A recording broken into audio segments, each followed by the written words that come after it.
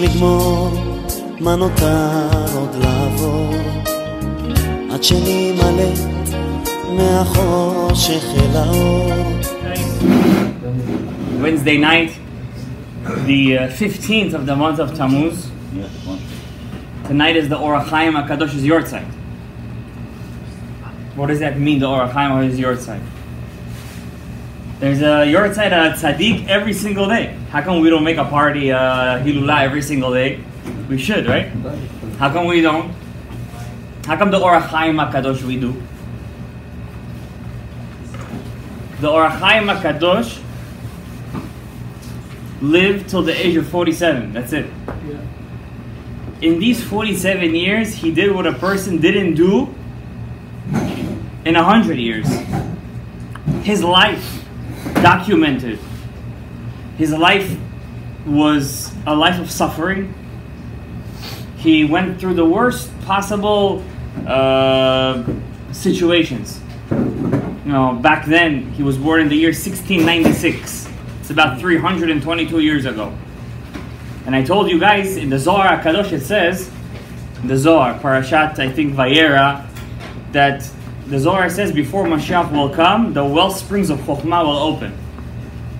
It says, Arubot Hashamayim ipatechu. What does that mean?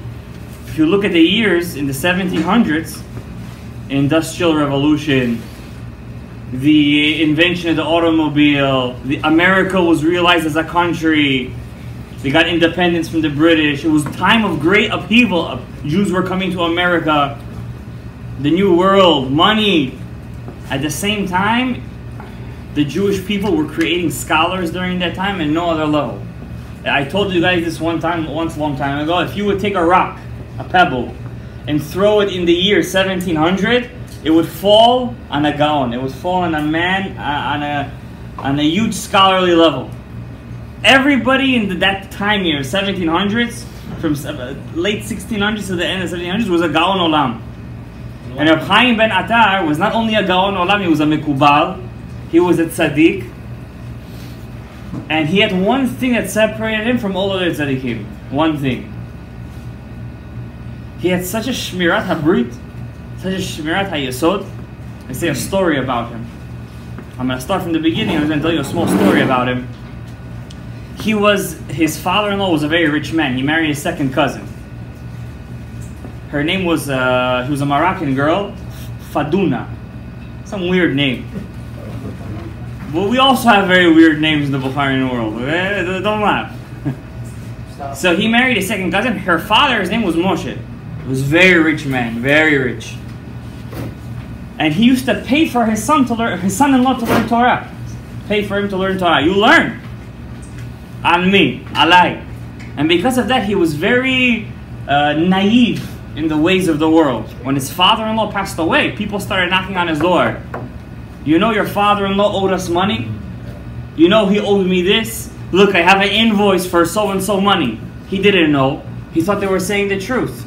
He started paying them off one by one, one by one. He writes in his personal journal, they took so much advantage of me, these sharks, that they left me penniless.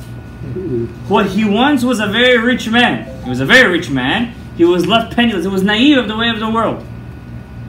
He was called Chaim when he was born. Many people, I just want to set the record straight. There's a famous story they say happened to him. It didn't happen to him.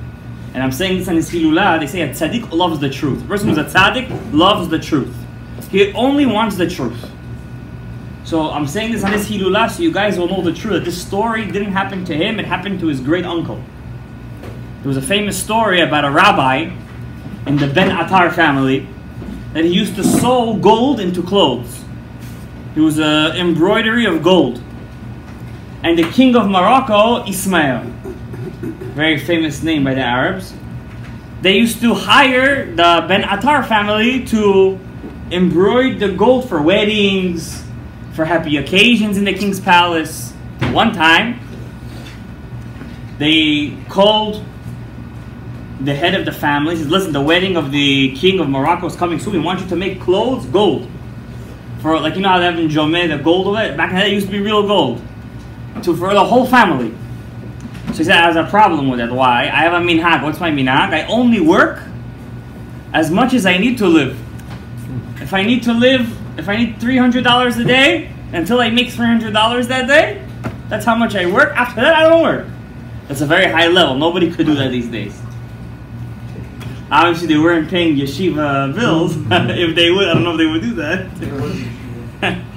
but that's how we used to do. It. And the king and the king said, "Listen, I'm giving you the job. You better finish by so and so." He says, "Okay, listen, Hashem Yerachem, God will help."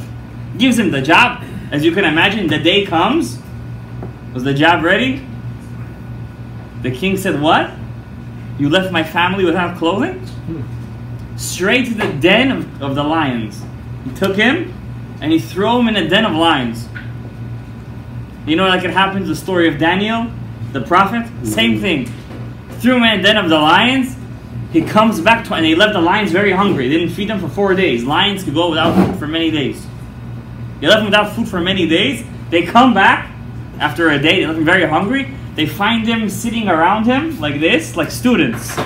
And he's opening the book and he's learning Chumash out loud and they're sitting around in the lines listening like he's learning Torah. Could you imagine what they did to him when they saw it? They made him into a, a mufti. They took him out, they put a crown on his head. So many people say, who, who did this story happen to? Rabbi Chaim ben Attar. That's wrong. It didn't happen to Rabbi Chaim ben Attar. It happened to his great uncle, Rabbi Yehuda ben Attar. It's a mitzvah to return the lost find a lost object to its rightful owner. It didn't happen to him. It happened to his a family member of his. How do I know this?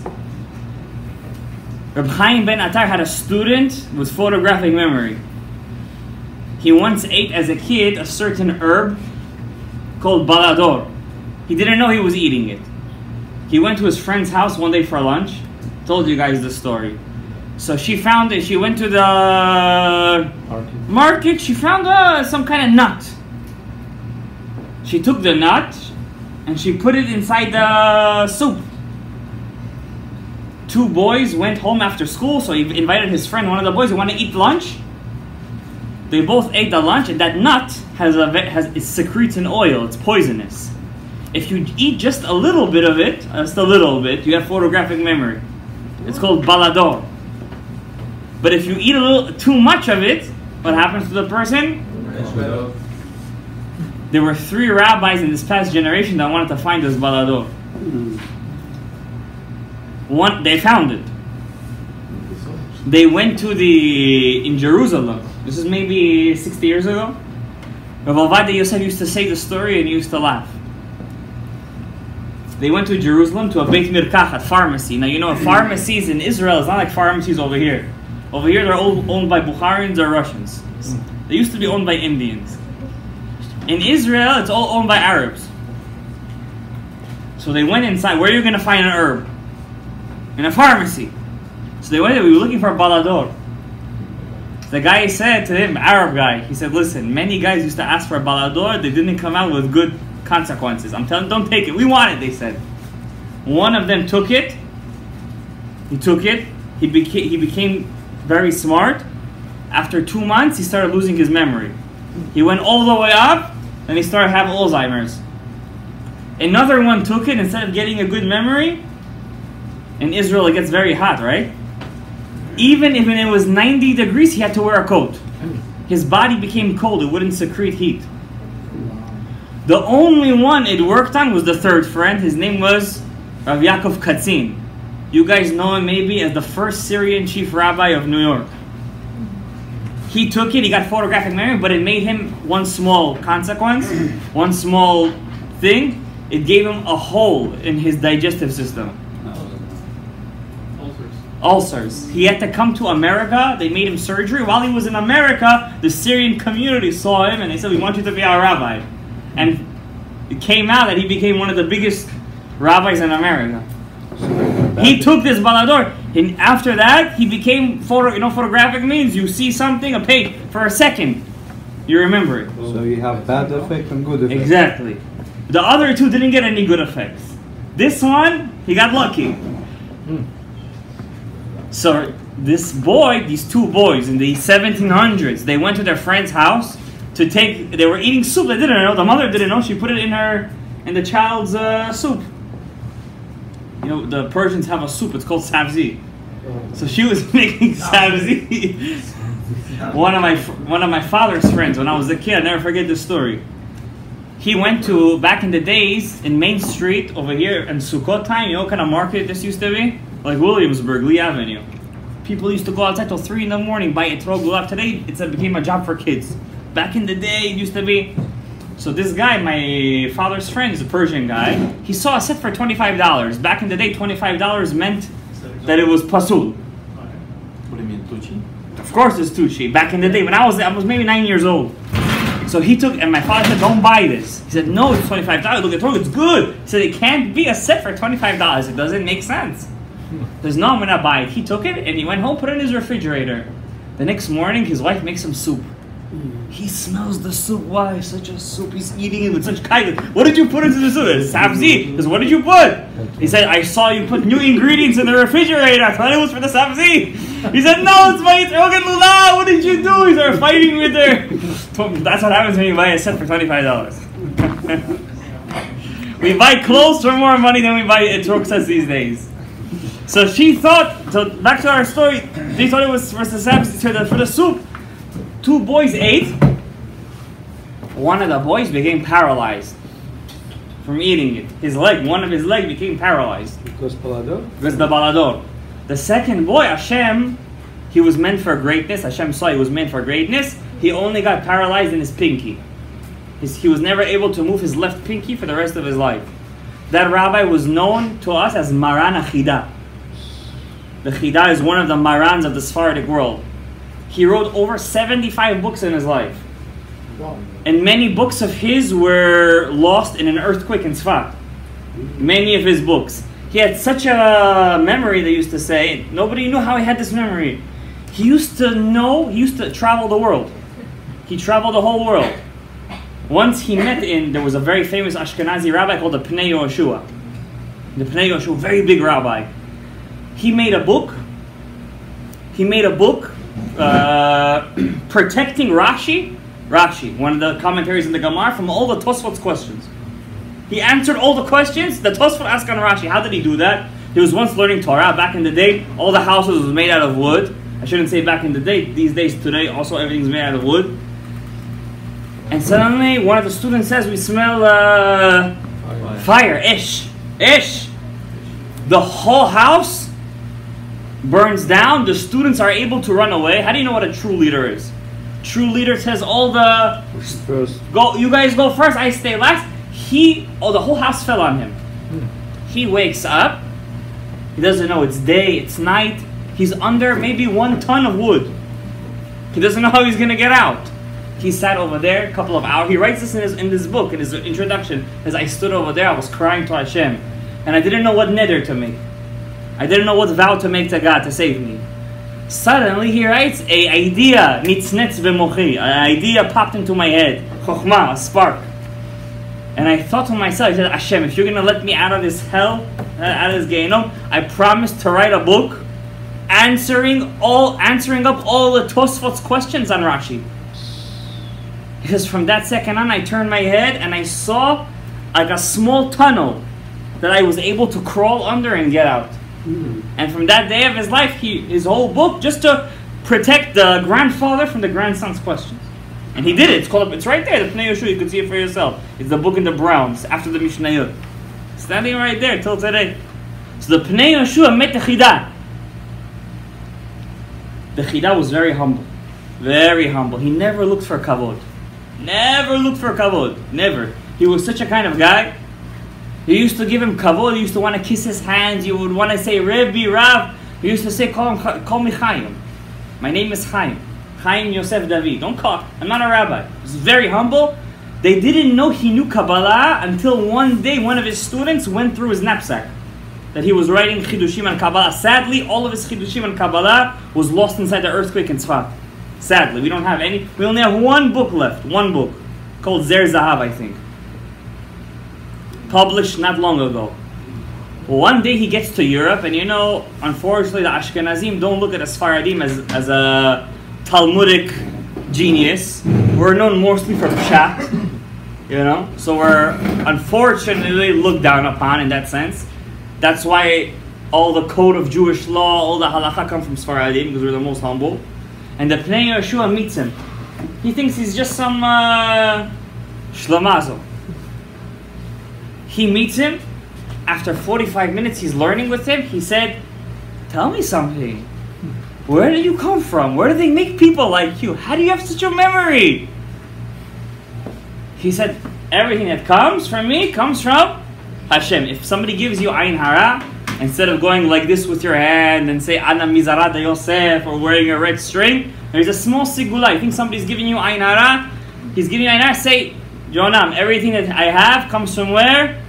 Hakadosh Baruch Hu. That's it. You don't need more than that. Once you put the it on Hashem, all the Ain Hara leaves you. Everything. The Chida, the Chida, is known as one of the three Marans of the Sfaradim. You know what Maran means? Maran means our master. Sfaradim have three masters. One is Maran Rav Yosef Karo, the Shulchan Aruch. Second one is the Maran Ha'ari. And the third one is Maran HaChida. In our past generation, they added a fourth one, Maran Ovadia. But before that, there were only three Marans. The, the Sephardi world didn't just live off of them. They drank from their water. We drink from their water. It was water of life. Maran Rav Yosef Karo, and Maran means our master. It's not simple to call. Today, every Shlamazel is a Maran. What's your name? Maran. You're Maran. You're Maran. Everybody's a Maran today. That's how you know we're coming close to Mashiach. Back then, it used to mean something. Maran, Maran means our master. Level. It's the highest level. It's more than Rabbeinu even. It's more than you know what Maran means. It comes. It's an acronym for Matayim Rabbanim Nismach. It means you have the power of 200 rabbis inside of you. In one. In one person. That's what kind of rabbi the Chida was. And guess who was his Rebbe? Reb Chaim ben Atar, the Or Chaim HaKadosh. This is his Hilulah today. I could only explain to you who he was by explaining to you his student. That's who he was. Reb Chaim ben Atar was the Rebbe of the Chida. Was his Rebbe. He writes in his book Shem HaGedolim, his Reb Chaim ben Atar, his, his heart, he writes, this is his words, it's Shem HaGedolim. He has a history book, one of my favorite books. Very accurate book. He writes, when he used to learn Torah, he never used to take off his tefillin. Never, no such kind of thing. You learn Torah with your tefillin. You know how hard it is to do? I tried to do it. One week, after one week, I said, Bas, I can't do this anymore. I gotta take it off. And it's very hard to do because it's always on your head, and you know you have to, and you have to have, you can't think of women while you're wearing tefillin. You know that, right? You think of a woman, it's uh, it's another era. You gotta, if some, if you feel like you're having bad thoughts while you're wearing tefillin, right away you have to move it. Wow. You're not allowed to, you're not allowed to have to go to the bathroom while you wear tefillin. You have to go to the bathroom while tefillin. You gotta take it off. How people do How, oh, how many people don't learn halachot? Mhm. What are you gonna do? You're not allowed to be mas. You can't sleep with your tefillin. Could you imagine that he used to wear tefillin the whole day? The Chida writes he used to sleep for two hours a day. All day. You know how long he lived for? 47 years. It was like he lived 47 times 2. 47 times 2. Do you guys know that minhag we have when we go to Israel? We write a, a letter. We go to the kotel. We put it inside this. How many of us put it inside and we take somebody else's out to read it, see what the uh, people do that. When Obama, Obama, when he went to Israel, before he became president, because he wanted the Jewish vote, mm-hmm. he put a thing, and he knew somebody was going to take it out. He knew. He puts it inside, and he puts a white kippah, you know, and he's praying by the kotel. That was the only nice thing he did for the Jews. And he was not even president yet, and he left. When he left, one reporter took it out. He wants to see, he wants to see what he writes. He opens it up. Obama wrote over there. I'll never forget this. He writes, God, please bless me with humility. Why did he write that? Uh, there's no lie without some truth. He was known as one of the most egotistical presidents of America's history. Obama. He was very egotistical, a lot of gava, a lot of gava. Just do whatever he wants whenever he wants. People think Trump's bad. He was worse. He used to do it in a very nice way. His first phone call when he became president was to who? The Palestinian Authority. I remember like it was tomorrow, like it was yesterday. So where did this uh, minhag come to write a letter and put it in the kotel? You know where it came from? When Rav Chaim ben Atar was 46 years old. He lived in Israel for only a year and a half. He was 46. He was almost gonna die. I'll tell you. So you see, he was he got very sick and he died in a plague. Somebody came to him. He lived in Yerushalayim. He wouldn't live in Tzfat, Tveria. They begged him when he came to Israel for the first time. They, they used to come to him and say, "Come, your yeshiva is to be the Ariya Kadosh shul." They said to him, "Come, just live in Tzfat." When he came to Tveria of Chaim Abulafia, one of the big tzaddikim, he begged him. He says, "Please live in Tveria." You know who's buried in Tveria? The Rambam, Rabbi Yochanan ben Zakkai, the Shla, the Ariz in the Tzfat. Rabbi Akiva. Not far though. Rabbi Akiva, Rabbi Tveria. Meir Bar- Rabbi Meir Baal HaNes. Shimon Bar Yochai is between Tveria and uh, he's in between. He's in Meron. He's near. He's near. He's in Amuka. He said, "Please live in Tveria." He says, "No, I'm not living in Tveria. Only one destination I have. Where is that? Yerushalayim. He went to Yerushalayim. He comes to Yerushalayim. Somebody knocks on his door. He was known as a miracle worker, even though he didn't want to be known as that. His rabbi. Back then, they used to have kids one after the other. Even today, some people do, but very rare. Says, Kvod 17 kids. In Parnasah אין פרנסה, צריכים Parnasa, Pool, Mamon, Kesef. how many languages should I say it in? Dengi. Davlat. Rabbi, you don't understand? We need parnasa. Why are you looking at me like, I, like I'm speaking Chinese? He said, I need parnasa. Rab Chaim Ben Attar looks at him. The Or HaChaim HaKadosh says to him, listen, do I look like God for you? Do I look I wear tefillin. It says, the, the Gemara says God wears tefillin, but I'm not God. Look, go to Hashem. Yes, the guy, Hashem is going to listen to me. Our Chaim sits over there. He's in deep thought, deep meditation. Deep meditation. He says, I'm going to give you a secret. Don't tell anybody the secret. It's only going to work one time. One time. He said, take a paper, write a letter to Hashem. Go to the Kotel Hama'aravi and put it inside the uh, the wall, the stones. Whatever you're going to ask for is going to come true. But if you tell anybody what I just told you, if you lose the paper on the way there, Shalom al Yisrael, Kaddish al Yisrael. Apparently he did, so we know. He went, he wrote, he was such, you know what B'tchilu Rechimu means? With fear and love of Hashem. He went to dip inside the mikveh. He wrote that letter with such with such love, with such chotzka. He wrote it. He was about to put that letter inside the walls. This huge wind comes out of nowhere. The letter goes, like he said, Shalom al Israel. He never found that letter again. From that started the minhag, because you know Jews can't keep anything to themselves, to put a letter inside the Kotel Amaravi. When I go to the Kotel, I never in my life, in my life, wrote a letter and put it inside the walls. Why? I don't say this to people because you know it's it's a it's an experience for them. You know, put a letter inside the wall. What do you think? It's a mailbox? Somebody's gonna come take the letter and go upstairs. Is that a mailbox for you? You know what? It's a mailbox. Your words, your words. Open your mouth. You gotta talk. How come relationships don't work? Because you don't talk. You have to have, you have to have con- a, a con- communication communication skills. Person's going to college is very important take communication. Why? It's to help you not only in work, it's to help you in life. You have to communicate. How? Through words. Sometimes a student is in class and he wants something. He expects the Rebbe to do it for him. So I tell the students, guys, I don't have Ruach HaKodesh. If you want something, if something is bothering you, you have to say it. Open your mouth. You have to say it. Okay? Some kids are very sensitive. I try to build a relationship with them, but you can't get all of them. You understand what I'm saying? Who's to blame? Is the Rebbe to blame? Yes. What do you want him to do? Go inside a kid's brain? It's always The, the kid has to open his mouth. Something's bothering because he has to open his mouth. That's how you build a relationship. That's how you build a relationship. Why do I say that?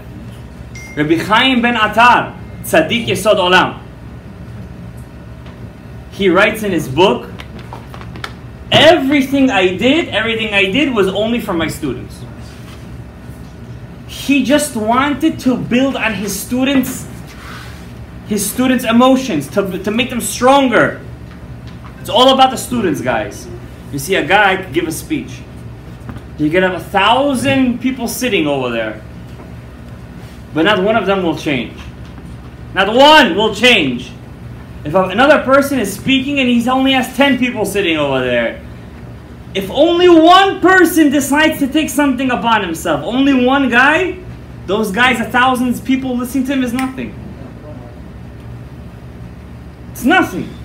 One time, just one time, try to convince somebody not to do an Avera. Just one time. I till, till today I say, one of the greatest moments of my life, and I learned this from the Orach HaKadosh. This is Orach HaKadosh. When I was able to convince one guy to keep Shabbat just one time. It's one of the greatest moments of my life. Just one time, keep Shabbat. Don't smoke a cigarette on Shabbat. That's it. That's all you gotta do. Rabbi, I can't. I gotta smoke on Shabbat. I gotta smoke on Shabbat. Just just one time try. One time don't smoke, and he did it. Next Shabbat already, he couldn't do it. But I know I'm going to Olam Haba with a with an atomic bomb. Question. Yeah. If you spoke to somebody who wasn't Jewish, and then they converted and understood what his religion was all about. You did a very big mitzvah. And it's a gear already. And it's probably, I led the person the way, and today it's a very, very religious person. It's a very big mitzvah. It's a very big mitzvah. We gotta go collect. It's a very big mitzvah.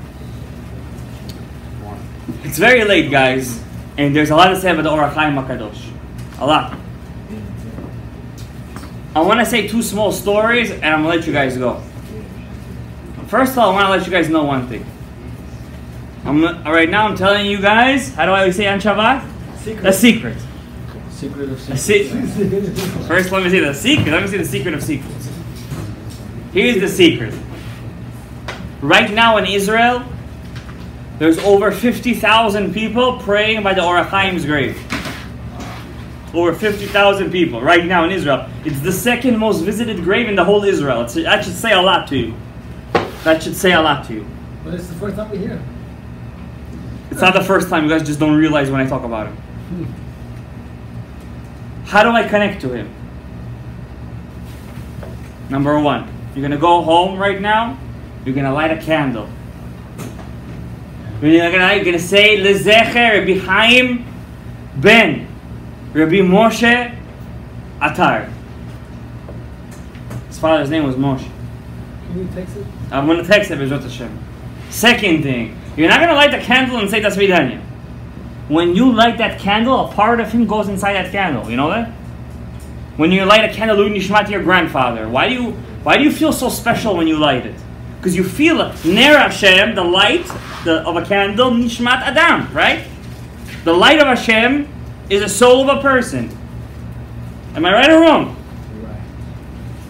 When you light a candle at tzaddik, he's going inside that candle. He's going inside. If you tell me I'm wrong, open up the book Siftei Tzaddikim Salman Mutzaf in Zakdama. That's what he says. Light that candle, Rabbi said. There's two times it says the word Chaim in the Torah for something. First thing, the Torah says, Ubacharta b'chaim. Choose life. Choose life, Rabbi said. What does that mean, choose life? Torah. Choose the way of the Torah. Pray that Hashem should open your mind for Torah, Rabbi. I know married couples, and I know religious ones and non religious ones. And I know religious ones that learn Torah and religious ones just keep Shabbat, Kashrut, and Yom Tov. I guarantee you, the couple that learns Torah, that they, she sends her husband to learn Torah at night. When a guy goes to learn Torah, he puts chayim, he puts life into the house. When your son sees you learning Torah at home, he will want to learn Torah. But if he knows that his father is going uh, at uh, late night to go and smoke up with his friends, and guess what the son is going to want to do? Same thing. Smoke up. If your child knows that you're learning Torah, he will want to learn Torah. If he, sees you putting on tefillin, he will want to put on tefillin. If he sees you praying, he will want to pray. If you take him to shul and he sees you, you're not talking in shul, he's not going to speak in shul. But if he sees you speaking in shul, then what is he going to do too? He's going to speak in shul. First thing you pray for when you light that candle, pray that you have the ability to learn Torah in peace. You guys have no idea how hard it is to learn Torah in peace. When you guys are going to be a rabbi, you're going to understand this. Peace? No, I mean like nobody's going to bother you in the middle. Yeah. Sometimes I could learn 20 minutes. Suddenly, halachic question, this is somebody phone. You can't learn Torah. Sometimes I barely get three hours in a day. Barely three hours in a day. That's nothing.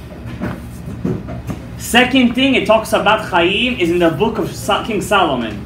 Re'eh Chaim im ha'isha asher lakachta. See life with the woman that you took. When you light that candle, pray for Shalom Bayit. Pray for Shalom Bayit. Rabbi says Shalom Bayit shouldn't be taken granted. You need to pray for Shalom Bayit, Rabbi. You need to pray for Shalom Bayit. Re'eh Chaim im ha'isha asher lakachta. That's what you gotta pray for, Rabbi Isa. You gotta pray that all the time.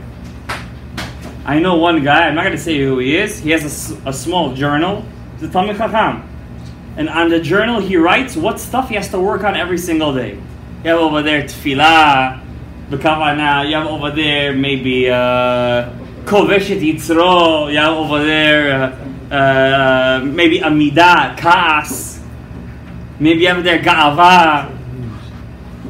E- all the kind of characters, the ego uh, to overcome your yitzhara, not to look at things you're not supposed to look at even for a second Anger. anger. And the last thing he has over there in bold letters is what? Shalom Bayit. I'm going to tell you guys a small thing. You know Rabbi Ben Abba Shaul? The Or Litzion. He was Rav Ovadia Yosef's uh, Chavruta. Once his students wanted to see what he does at home. What do you think a Gaon Olam does at home? What do you think he does? Don't, don't, tell, don't say the story. I gotta say the story. What do you think he does? He's uh, learning Torah, right? Not one second. You have Torah every single second. You're wrong. His student peeks through the window. His wife had 10 miscarriages. 10 miscarriages she had. He had one son, the 11th kid. His name was Elial. He saw Rabbi Shimon sitting inside the kitchen peeling potatoes for dinner, speaking to his wife. Could you imagine such a thing? He's sitting over there. He's talking to his wife, hat off. He's peeling potatoes. Peeling potatoes. Talking about how was your day? Mm, interesting. You went shopping. Very nice. Very good. That's a real tzaddik, Rabbi said. That's a tzaddik gamur. He knows what to do, when to do. That's what it means. Ha'isha- Doesn't mean I'm just gonna pray by the candle. It's gonna come to me shalom Bayit in a package. No, you have to work on it. But you need the spark to start working on it. I always said this to one of my students, Umi midbar matana. Sometimes you have to make yourself into a desert. Sometimes. And then what do you get? A matana. You know what matana means? How do you say it in, in Russian? Padar. Padarka. Padarik. Padarik is what he said. Rabbi. There's a lot to say about Chaim Ben Atar. A lot, a lot. There's a story about him that he writes about himself. How this is how he died, by the way. How he fought with the Samech Mem in his dream and he defeated him, and then he fought with the wife of Samech Mem and she defeated him. I'm not gonna get into it today. It's already late. But There's so much to say about him. How did he die? The Baal Shem, that this is a part of the story how he died. The Baal Shem Tov it's written in the book in the TV so that he was the Ruach of Atzilut. You know the Ruach of Atzilut? Maybe you understand what I'm talking about here. The Shiur gets recognition. He was the Ruach of Atzilut. The Baal Shem said he was Nefesh of Atzilut. He said if we would have met together, we would have brought Mashiach. One time Tov was in a boat to meet him. And he had a Tehillim of David HaMelech. The- He found it in the treasury of the king of Poland. He healed his daughter. He gave him a gift. You could go inside my treasury, take any present you want. He picked the book. He saw it was written by David HaMelech. He knew by Ruach HaKodesh. Tehillim. He went on a boat to Israel. In the middle of the way, he saw a big wave, a storm coming. And he told his wife, the storm is for us. They don't want us to meet. Or Chaim Ben Atar and me. Or so Baal Shem Tov. So he said, Hashem, I'm giving you a gift. Here's the Tehillim of David HaMelech. This is more precious to me than my own kids. And he threw it inside the water the storm went subsided. They went a couple of more kilometers. Again, storm keeps. This is the time Hashem said, Uh, Hashem Hashem said, I can't give anything now. I gotta go back. And he never met him. How did he know he passed away today? Baal was sitting in Seudat Shlishit. He passed away in Seudat Shlishit. In the middle of Seudat Shlishit, he looked to his to the west and he said, "The light of the west has been extinguished." So, so what do you mean, Rebbe? Says, on Shabbat you're not allowed to cry. And he continued to sing. After Shabbat, the second he finished Havdalah, a river of tears left his face. Baal Shem Tov. Or Shivat Hayami, you know what he said? Or HaChaim passed away. How do you know? He says one person in a generation, they give him a special kavanah to do a netilat yadayim. Till today, he had that kavanah. And so that Shilishi, they revealed to me this kavanah, it only meant one thing, that he passed away. That's how I know he passed away. One time he was in the desert, and lions were coming out of nowhere, and they were going to rip off the whole caravan. He looked at the lion and he said, I have a yesod that was never touched in my life. My brit milah was never touched. I never touched my brit. The lion heard that. Red, red light. You know when the kids play red, red light, green light, one, two, three. The lion stopped in his tracks, turned around, and went to Svidayim. Hmm. When he heard that. That's what the kind of Chaim Ben Atar was. All of his life, he never missed one time Tikkun Chatzot. Wow, amazing, Rabbi Isai. This guy, this is just story, but we gotta learn from him. We gotta, we gotta learn his pirushim. Bezrat Hashem and Shabbat will visit this, uh, this subject one more time. May Hashem bless us. With Chaim Arukim, Bracha V'Atzlacha, Yeshua Shalom Bayit, Torah, Mitzvot, Masim Tovim. ברוך אדוני לעולם, אמן ואמן.